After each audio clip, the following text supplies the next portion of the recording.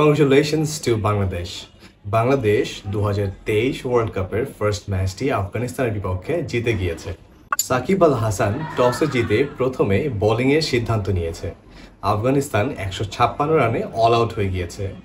আমরা ছয় উইকেট হাতে রেখেই ম্যাচটি জিতে গিয়েছি। তো দেরি না করে চলুন জেনে নেই কে কত রান করল আফগানিস্তানের হয়ে। গুরবাজ করেছে সাতচল্লিশ রান।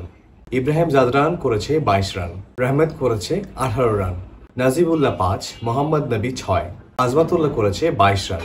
রশিদ খান করেছে নয় রান। মুজিব এক, নবীনুল হক শূন্য এবং ফজল হক ফারুকি করেছে শূন্য রান।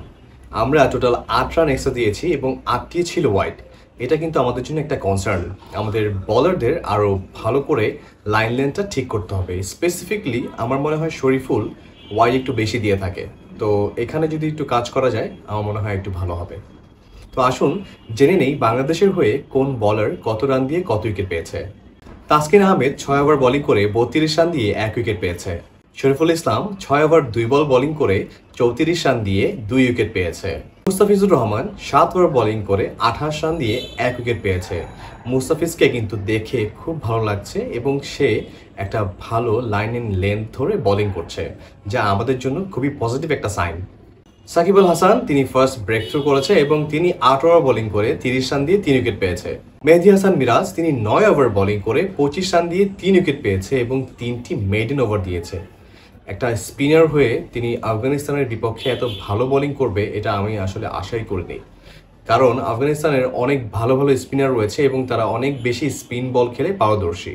মেহেদি হাসান মিরাজ আজকে আউটস্ট্যান্ডিং পারফরমেন্স করেছে। বাংলাদেশের শুরুটা কিন্তু ভালো হয়নি।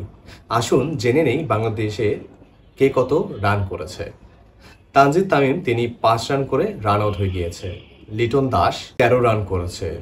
ওয়ান ডাউনে মেহেদি হাসান মিরাজ নেমেছে এবং তিনি সাতান্ন রান করেছে।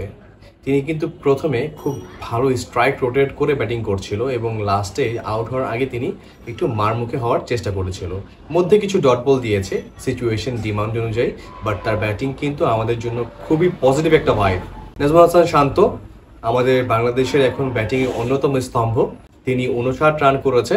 তিনি হয়তো কিছু বল বেশি খেলেছে, ডট বল দিয়েছে। তাছাড়া তার ব্যাটিং কিন্তু খুব ভালো ছিল, সুন্দর ছিল।